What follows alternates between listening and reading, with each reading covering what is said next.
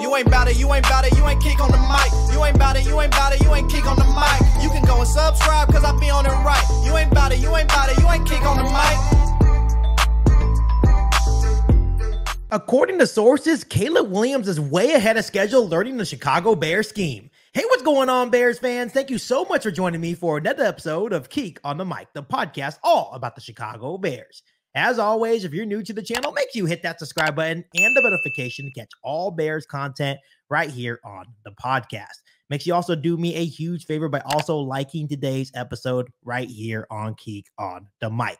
Bears fans, before I go any further, everyone knows that the Chicago Bears are currently in OTAs. This is when rookies and veterans get to see the practice field and share their practice field for the very first time as a Chicago Bear. And the Bear social media team is absolutely on fire. They actually posted two videos a day of Caleb Williams rolling out and absolutely launching a dart to new tight end Gerald Everett. And then the second video clip they posted today was Caleb Williams connecting with DJ Moore. And that is connection that's going to be absolutely fire all season long for the Chicago Bears. I understand Bears fans. There's really not a lot of pressure coming at him. You know, it's very just like, you know, walking through uh, the plays and here and there. But I think it's still exciting to see Caleb Williams throwing to DJ Moore and Gerald Everett, and just to see Caleb Williams in a Chicago Bears uniform, that gets me really excited as a Bears fan.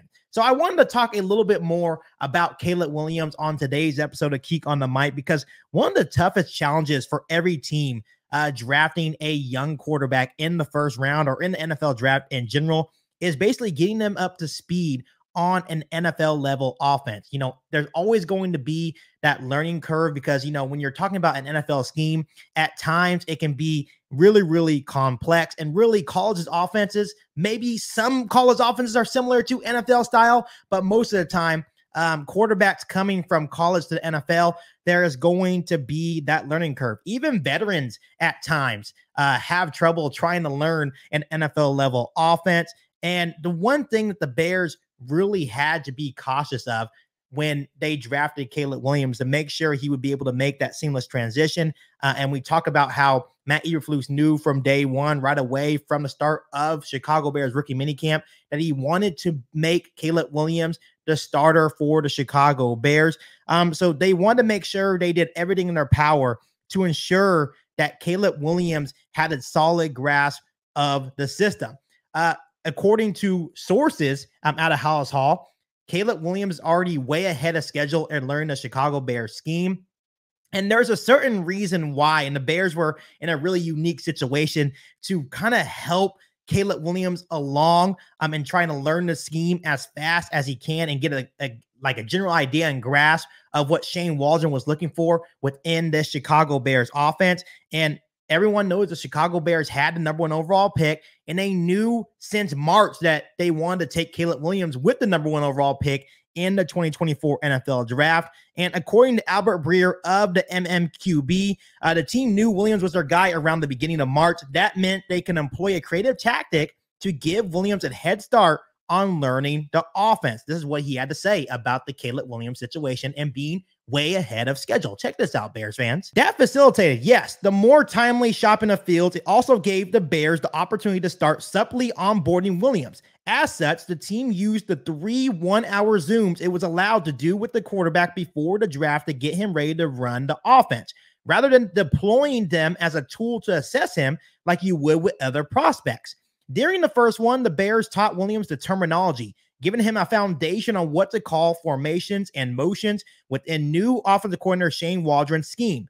During the second, they started installing their base, normal down plays. During the third, they put in red zone and third down plays. We wanted to have our install set for the OTAs and for rookie minicamp. We wanted to make sure he had those down during those three Zoom meetings, Coach Matt Eberflus told me Friday. So when he came into rookie minicamp on May 9th, he was very familiar with those installs. We were very fortunate to do that, and Shane and the offensive staff have done a wonderful job of really making it friendly and learnable for Caleb. Once again, Bears fans, this is really great to hear. And the Bears were in a really unique situation, and the Chicago Bears didn't break any rule NFL rules by basically teaching Caleb Williams the installs and kind of giving him getting more comfortable with what Shane Waldron was looking for within his offense here in Chicago. So that's also a good thing. And Matt Eberflus made it very clear prior to the NFL draft. I believe Matt Eberflus said at the owners meeting in Indianapolis of their plans for Caleb Williams, and he did use the word install. Um, so Caleb Williams has been learning the offense since way back in March, it sounds like. So by time he was drafted by the Chicago Bears, and by time rookie minicamp came for the Chicago Bears, Caleb Williams already had an early grasp of the terminology and the different installs and the different ins and outs of the Chicago Bears offense. So, yes,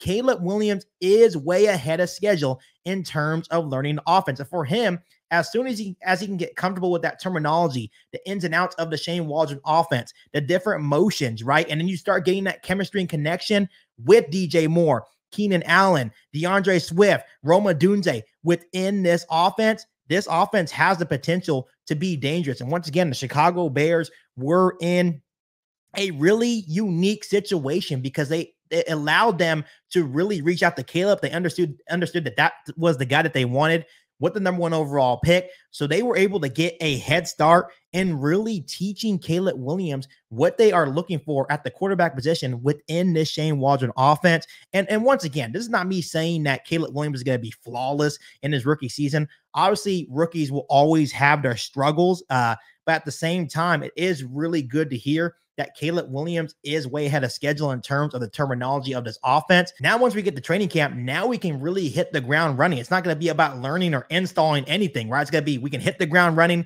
and start running plays and start practicing certain plays that make Caleb comfortable and plays that can really make the Chicago Bears offense really dynamic this season. So overall, Bears fans, personally, no one can say that the Chicago Bears aren't doing everything in their power um, to make Caleb Williams' transition as smooth as possible. Once again, we talked about this before. Caleb Williams is damn near in a perfect situation to start his NFL career. Um, I think Shane Waldron is the perfect offensive coordinator to really groom um, Caleb Williams into something special. Um, but all in all, even though he is way ahead of schedule, now we have to see it on the football field. And I cannot wait for week one of the NFL season to see um, how good Caleb Williams is and operating the Shane Waldron offense here in Chicago. So overall, Bears fans, before I let you guys go, make sure you continue to hit that subscribe button and the notification to catch all Bears content right here on the podcast. Make sure you follow me on all my social media platforms, and make sure you share this episode of KIEQ on the Mic with every single Bears fan that you know.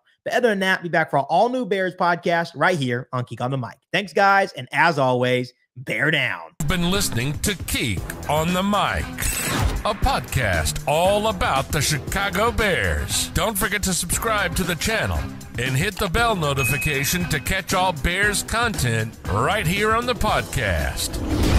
Thanks, guys, and bear down.